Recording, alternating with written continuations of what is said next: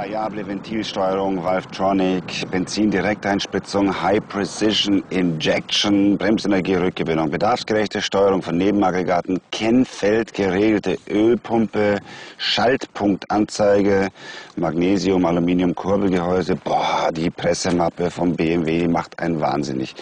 Rollwiderstandsreduzierte Reifen, Aluminium Leichtbaufahrwerk, Doppelgelenk, Zugstreben, Vorderachse und Zentrallenker, Hinterachse. Fahrstabilitätsregelung DSC. Oh Mann, oh Mann, oh Mann, wie schwer kann man sich's eigentlich machen? Roadster fahren ist angesagt im DSF-Motor an der Costa Blanca.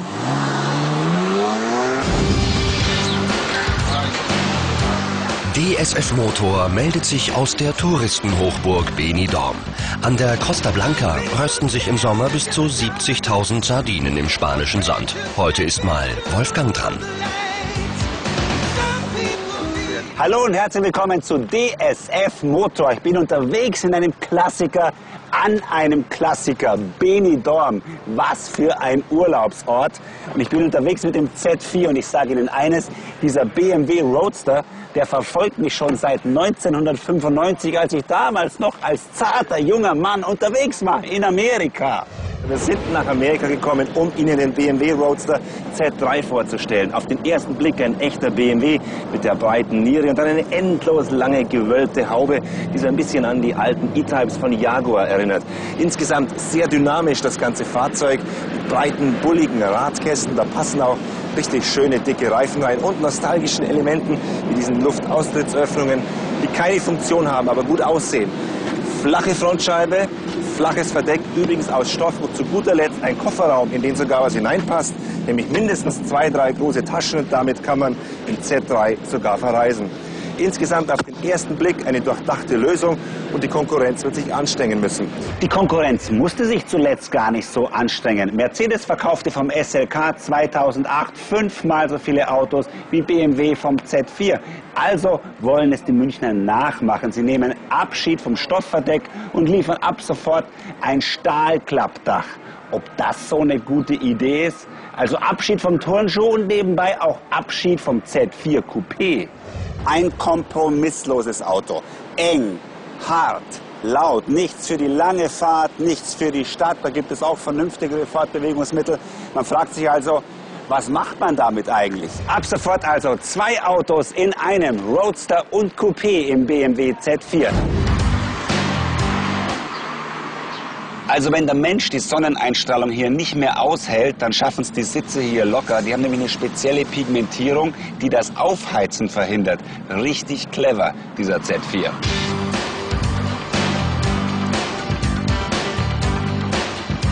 Und zum sinnlichen Roadster-Erlebnis gehört natürlich auch der wohlkomponierte Sound eines reinen Sechszylinders. Hören Sie mal, leicht Gas geben, er röchelt heiser, etwas mehr, er hebt seine Stimme. Das ist genau richtig. Nicht zu viel, aber auch nicht zu wenig. Und was so klingt, hat auch Kraft. In Zahlen 400 Newtonmeter Drehmoment und das schon ab 1300 Umdrehungen. Das bedeutet richtig viel Durchzug, souveräner Schub gleich nach Standgas. Und das ist genau das, was man beim Cruisen braucht. Herrlich. Wenn man so mit niedrigen D-Zahlen dahin schnurrt, braucht man auch wenig Sprit. Ich sage nur Efficient Dynamics. BMW hat es geschafft, dieses 306 PS Auto zu einem Normverbrauch von nur 9,0 Liter zu erziehen. Das ist richtig gut und auch unter realen Bedingungen haben wir hier nie mehr als 10 bis 11 Liter gebraucht. Der Z4 ist übrigens eine der letzten Kreationen von BMW-Chefdesigner Chris Spangle. Der Mann ist einer der bekanntesten, erfolgreichsten, aber auch umstrittensten der Branche. Für die einen ein Picasso, für die anderen einfach nur ein Gaukler. Hier ist der Diskussionsstoff dazu. Chris Spangle polarisiert. Passion of driving. Er fühlt auf. Personality, die Fahrzeug und bringt eine ganze Branche in Aufruhr. Das ist extremely powerful in seiner Ausstrahlung. Die Pinakothek der Moderne in München, ein Ort, an dem Kunst und Design zu Hause sind. 2002 eröffnet die Ausstellung The Art of Car Design. Da darf Chris Bangle nicht fehlen. Car Design insbesondere ist äh, ein sehr kunstvoll äh, Bereich von Design. Ich bin überzeugt, Car Design ist Sculpture. 1992 unterschreibt der aus Ohio stammende Chris Bangle bei BMW. Eine gestalterische und strategische Entscheidung. Die Bayern wollen mit der BMW-Fabrik in Spartanburg die USA erobern und auch das Design soll die Amerikaner überzeugen. Aber vom Entwurf bis zur Serienfertigung braucht es Jahre. Designworks kriegt die Aufgabe, die Studio in der Fitz hier kriegt die Aufgaben, die machen einen Wettbewerb und wenn der ist eine klare Sieger und das läuft in einem Siegerprozess von sieben Modell zum, zum drei Modell zum zwei Modell, dann bringen wir die Designers hier in der Fitz das final Gefühl von den Modelers hier, von den Engineers hier und so weiter. Das, das hat wirklich das BMW München Sprach am Ende. Chris Bangles Banglish bringt es auf den Punkt. Bei BMW ist jedes neue Modell ein großer Wettbewerb. Drei BMW Designstudios weltweit stellen sich dieser Herausforderung. Die zwei Siegerteams dürfen dann zusammen in München das neue Auto entwickeln. Sechs Jahre im Voraus zeichnen und basteln 70 Designer an der nächsten Dreier, Fünfer oder Sechser Generation. Bis das dreidimensionale Tonmodell in Originalgröße entsteht, ist es ein weiter und viel diskutierter Weg. Mit Lackfolie eingekleidet lädt das Modell eigentlich schon zu einer Spritztour ein. Doch so weit ist es noch lange nicht. Erst müssen die Designer, dann der Vorstand seinen Segen geben. Das Auto wird nicht nur gestylt, es wird tatsächlich von, von Anfang an geboren mit einem gewissen Look, einer gewissen Personality. Aber auch die Ergonomie muss stimmen. Die Position von Hebeln und Schaltern ist ganz entscheidend für das Wohlbefinden und die Sicherheit. Hier muss das Design der Funktion folgen. Ein gutes Verständnis von der uh, Engineering-Seite, der Construction-Seite von einem Automobil ist absolut notwendig. Steht das Design, wird das Fahrzeug innerhalb von drei Jahren im Simulator konstruiert. Jedes der knapp 5000 Teile wird in 3D berechnet, letzte Feinheiten am Modell korrigiert. Virtuell ist das Auto jetzt komplett fertig. Konstruktionsfehler in dieser Entwicklungsphase kosten nicht nur richtig Geld, sie beeinflussen das ganze Autoleben. Im nächsten Schritt werden die Teile in Handarbeit gefertigt und zusammengesetzt. Allein der Bau des Prototypen verschlingt ein Budget von mehreren Millionen Euro. Weltweit arbeiten bei BMW etwa 9300 Mitarbeiter an der Forschung und Entwicklung. Ich bin hier auf der Straße zu fahren. Die erste Ausfahrt ist schließlich der Höhepunkt. Design in Bewegung ist am schönsten, wenn auch noch getarnt. Emotion, das ist ein Teil unseres Business. 2001 kochen die Emotionen hoch. Die vierte BMW 7er Generation kommt auf den Markt und stürzt die BMW-Fangemeinde in eine tiefe Sinnkrise. Der Rucksack am Kofferraum spaltet die Autonation. In Internetforen wird der Rauswurf des BMW-Chefdesigners gefordert und auch die Konkurrenz ist sprachlos. Viele sehen für diesen Siebener nur eine Lösung. Hat mich vorher gefallen, hat mich, gefällt mir heute auch. Also das Auto ist für mich ein extremely rund Statement of uh, Präsenz auf der Straße. Und die Verkaufszahlen geben Chris Bangle recht. Das ist der erfolgreichste Siebener aller Zeiten. Image ohne Technik vielleicht gibt es nicht und äh, Innovation ist natürlich eine die treibende Verbindung zwischen den zwei. Mit dem 7er wird 2001 auch das umstrittene iDrive-System vorgestellt. Mittlerweile in der zweiten Generation steht der Dreh- und Drückregler noch immer in der Kritik, obwohl die Premium-Konkurrenz munter mit MMI und Command nachzieht. Aber das gibt es bei anderen Automobilherstellern, haben sie, die probieren einen Trend zu setzen. Manche setzen die Trends, andere fahren hinterher. Die Mercedes S-Klasse bekommt 2005 das Bangle-Heck spendiert. Ich sehe viele Dinge, das sind in der Denkweise, wo wir waren vor ein paar Jahren. Das, das ist auch immer eine Freude zu sehen, dass andere kommen auf die gleiche Idee. An Selbstbewusstsein mangelt es dem streitbaren Amerikaner nicht. Chris Bangle hat Designtraditionen gebrochen, neu definiert und damit eine ganze Branche umgekrempelt. Das riesig tiefe hm, historisches äh, Fundament of, of Passion für Car Design ist immer noch ein wichtiges äh, äh, Element für die Zukunft. Und die zuletzt von Chris Bangle geschaffene Zukunft von BMW sieht wieder richtig gut aus. Das Konzept CS überzeugt auf den ersten Blick und findet hoffentlich den langwierigen Weg in die Serie. Da gibt es Kernwerte in der Niere, Kernwerte in der Form, dass man muss das halten. Und das kann man interpretationslegen. Ein X-Coupe mit Löcher in der, in der Nierengrills oder die gedrehte äh, Nierengrill in der CS1. Das sind zwei Interpretations von basically the gleiche Message Unit. Eine ganz neue Interpretation ist die Skulptur Gina. Wie aus Stein gemeißelt, aber trotzdem anpassungsfähig. Flexibilität ist oberstes Credo dieser Studie. Offen ist auch Chris Bangles Zukunft als Industriedesigner. Jetzt will der 52-Jährige in Bologna ein eigenes Studio eröffnen. Warten wir ein bisschen, sehen wir, wie das kommt. Chris Bangle ist ja ein Mann mit Stil und er hätte sich sicherlich nicht träumen lassen, dass eine seiner Kreationen ausgerechnet mal in Benidorm präsentiert wird.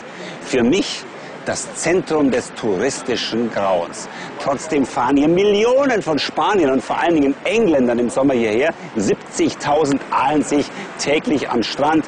Man trinkt im Molly Malone sein Pint und schaut Arsenal gegen Hull. Aber wir sind ja wegen des Z4 hier und der sieht von vorne richtig gut aus. Die Niere steht immer steiler, wie beim Siebener. Lufteinlässe ohne Ende. Das begeistert schon die Kleinen. Die Motorhaube endlos lang mit all den kleinen Zicken. Hey, jetzt bräuchten wir Pamela Anderson oder so jemand. Hier so zum Räkeln in der Sonne. Haben wir leider nicht. DSF muss sparen. Wir schauen uns das Gerät von der Länge her an. 15 cm länger als bisher. Jetzt ist man schon so in der 4,35 Meter Klasse. Jede Menge konkave, konvexe Linien, Gürtellinien, Schulterlinien, alles kreuzt sich. Hier bängelt es noch ein wenig. Das Ganze endet in sehr breiten Pobacken und in einem horizontal aufgeteilten Heck. Da steht er richtig satt auf der Straße mit seinen 17 Zöllern und seinem Doppelrohrauspuff. Sehr coole Kofferraumöffnung übrigens. Dann schauen wir doch mal, was reingeht. Uh, ein schwarzes Loch, größer als beim Vorgänger. Hier kann man Reisetaschen reinstopfen, aber definitiv keinen Koffer. Und will man offen fahren, muss dieser Gepäckschutz runter und dann wird es richtig eng fürs Gepäck. In nur 20 Sekunden verschwindet das zweiteilige Stahldach im Kofferraum. Knopfdrücken genügt, alles ist vollautomatisch. Aber leider funktioniert das nur im Stand, was ich jetzt wieder ein bisschen spießig finde in so einem edlen Z4 Roadster. Für sie legt das den Blick frei aufs edle Ambiente. Der typische BMW-Stil wie in einem edlen Hotel, in einer Lounge. Materialien, Verarbeitung, alles auf höchstem Niveau. Aber die Aufpreisliste muss wie immer schwer bedient bedient werden. Tempomat, Park Distance Control, Klimaautomatik, alles kostet genauso wie das iDrive, das es jetzt im Roadster auch gibt, für knapp 3000 Euro. Und dann klappt leider ein mächtiger Bildschirm in der Mitte aus. Erinnert mich so ein bisschen ans Büro. Turnt irgendwie ab. BMW Z4 S-Drive 35i geschnappt. Das Topmodell, voll ausgestattet, über 60.000 Euro teuer. Das war 1995 noch günstiger. Der BMW Z4 Jahrgang 2009 hat die Roadster-Gene von seinen Vorgängern definitiv übernommen. Immer noch sitzt man fast auf der Hinterachse und kriegt jede Kurve haargenau mit.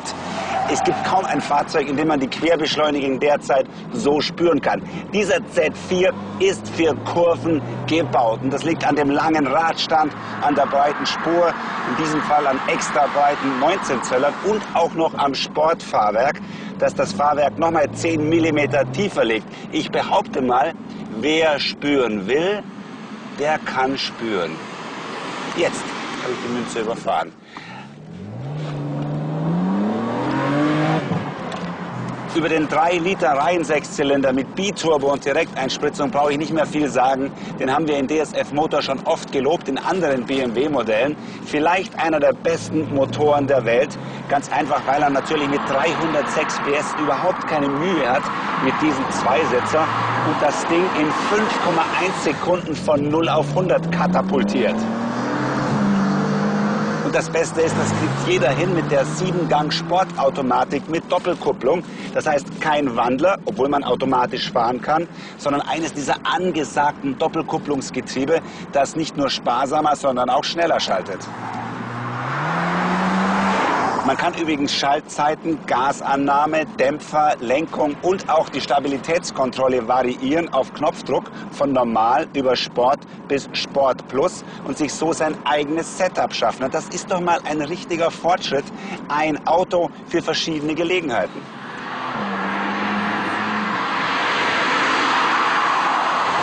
Einzige Wermutstropfen ist vielleicht das höhere Gewicht im Vergleich zu den Vorgängern. 200 Kilogramm hat der neue Z4 zugelegt. Also man sieht, die allgemeine Fettleibigkeit hält auch vor modernen, leichten BMW-Sportwagen nicht halt. Was gibt es für 35.900 Euro? Den meiner Meinung nach schönsten BMW derzeit und die vielleicht schönste Motorhaube überhaupt. Er ist alltagstauglicher geworden, komfortabler, leider auch etwas schwerer, aber nach wie vor auch der dynamische, agile Roadster. Und jeder Fahrer sucht sich sein Setup persönlich per Knopfdruck. Aber ist BMW mit dem Stahlklappdach auf dem richtigen Weg? Ich finde nicht. Ich bin ein Fan des Stoffverdecks. Erstens ist es leichter, damit schneller und sparsamer. Zweitens senkt es damit den Schwerpunkt des Autos und ist besser in den Kurven. Drittens benötigt es weniger Platz, der Kofferraum ist größer.